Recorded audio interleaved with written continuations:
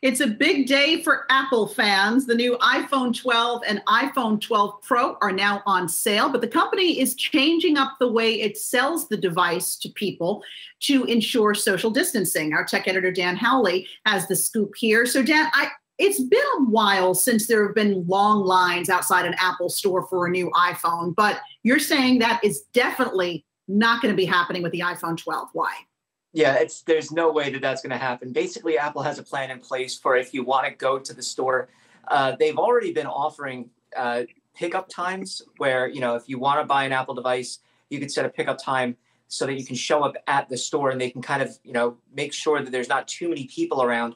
Uh, when I was buying uh, my Apple Watch, that was an option. Uh, I just got it delivered because it was just easier. So what you can do is you can go to the store. Uh, you're likely going to have to separate yourself uh, by six feet, which you know you should be doing now, uh, just as a matter of course. But th- they're not going to allow as many people inside the stores uh, as you might uh, suspect. Uh, so there's going to be a lot of you know kind of waiting around outside, and then I think you know for most people the best bet is look, yeah, it's not going to be great that you might have to wait a little bit to get it delivered, but just get it delivered. I mean, you know, if, if you're one of the lucky few uh, that pre-ordered it, you're probably getting it today. Uh, if you're ordering it today and you're going to be getting it delivered, you might have to wait a while, uh, but it's much better than having to, to deal with the experience of going into the store uh, and waiting around uh, and you know potentially putting yourself at risk. Really, outside of the Apple Store, I got to tell you, you can look at places like Best Buy, uh, like Target,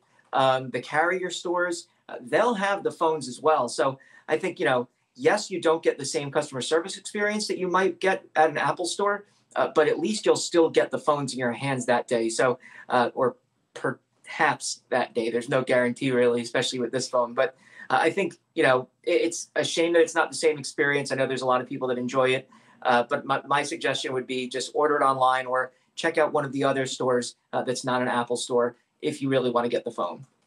Dan, if I'm dropping 1200 bucks on one of these 5G iPhones, I want to be coddled. I want to be felt. I want to be felt important. I'm going to the Apple Store. Um, but I do want to ask you about pricing. Uh, and Alexis brought this up in our morning meeting and highlighted some of the pricing is starting to get very competitive.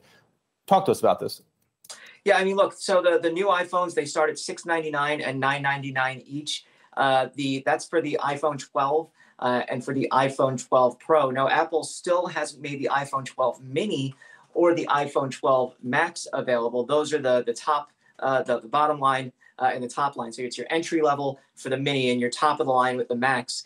Uh, you know, I mean, I think as far as the pricing goes, uh, the Mini and the the base iPhone at, at 699 are a great price, um, especially when you think that the SE is there as well. Still, uh, you're really going to get a, a lot of bang for your buck. And you know, the thing to remember is, look, this isn't like it used to be uh, with other uh, manufacturers where you would have okay here's or, or computers right? Laptops where you would say okay here's your top line product here's your entry level product here's where all the good stuff is. We put junk in this one uh, figure it out yourself. If you want to you know get the best you're going to have to pay uh, pay up. Uh, if you want something to get out the door and not have to spend a lot you're going to get the junk one. What apple did was put all of the same components into each of these phones uh, outside of you know a telephoto lens on the Pro line, uh, but you're still going to get OLED displays on the entire lineup. You're still going to get that new uh, nano ceramic crystal display that makes it uh, the screen, uh, according to Apple, four times sturdier. Uh, you're still going to have really great uh, water protection, and the processor is the same all across the board. So you can't go wrong with any of them. All right, Dan Howley, thanks for bringing us up to speed on how to buy that iPhone 12. Have a good weekend. Hey investors, Zack Guzman here. Are you interested in learning more about the markets and getting the latest financial news? Well, then click right here to subscribe to our Yahoo Finance YouTube channel. Get the latest up to the minute market analysis, big interviews in the world of finance, and information on how to manage your money every day wherever you are.